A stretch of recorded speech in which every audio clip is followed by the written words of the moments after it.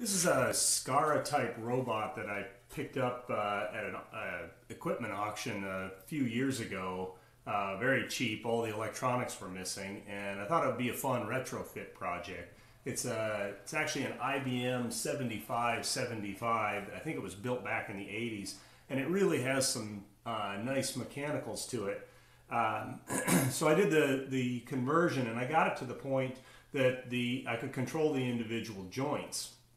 Then I started having problems when I would try to co- uh, control it in uh, uh, like world coordinate mode, uh, and I'd get following errors on the the uh, on one of the joints, and uh, from time to time I would post up online and try to get help, and, and either not get a reply at all, or um, you know just either wasn't finding people who were working on robots like this, or this one was somehow different and it was really frustrating. It kind of went on for a, a, couple of years, and this is just a for fun project, so it wasn't a priority for me. Um, like other SCARA robots, it's got a the, the pedestal has a motor that controls the rotation of this arm, and a second motor that controls this arm here, so it can hit any part of this uh, work envelope. There's a third motor that raises and lowers the actuator along the z-axis and one more that controls this the orientation of the actuator here. I've got a pencil clamped in that shows, so this is pointed right along what I've got identified as the x-axis. And it's straight, and I want to show you what happens with this particular robot.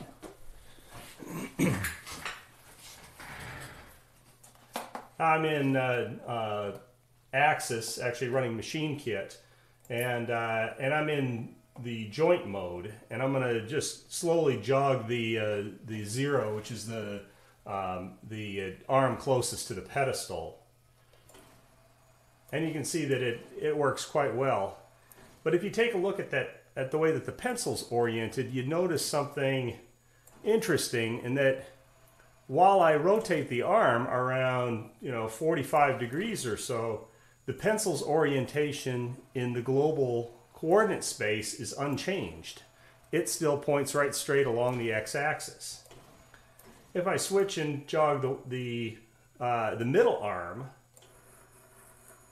the same thing happens. That pencil doesn't move. And if I turn this off so I'm not doing any control with Machinekit at all, and I just move it by hand, you see the same thing. And what I've found to be happening here is that the motor that controls this isn't in this part of the arm. The motor itself doesn't rotate when these arms rotate. It, the motor's way back here in the pedestal, and it's connected through this linkage of belts. And it's set up in such a way that when any of the other arms move, this arrangement of belts mechanically cancels out this rotation. Well, I, think that, the, that a typical SCARA robot doesn't work like that.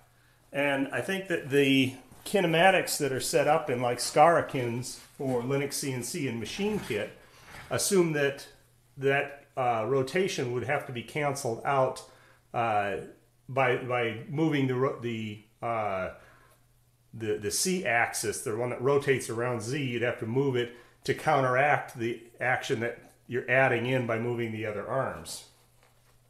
So when I would use uh, Machinekit, what would happen is it would try to, to do that. It would try to rotate the C axis the other way, but then it would be going against those belts, which are holding position, and, and then I'd get following errors out of it.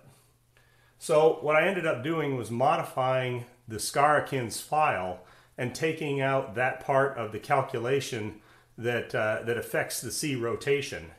And that seemed to have solved the problem.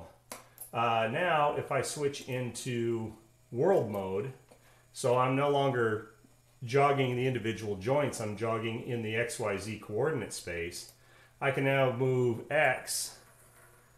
I can even go a little faster than that.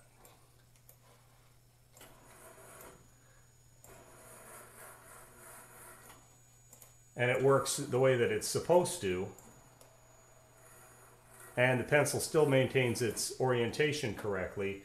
But if I jog the C uh, axis, the rotation around Z, it works as well. And that seems to have solved my problem. So finally, this big dumb robot is uh, in a position where I can uh, do something interesting with it, and I have absolutely no idea what that was. Anyway, that was a probably a two-year journey to get to that point, and uh, but now he's finally working. That was easy.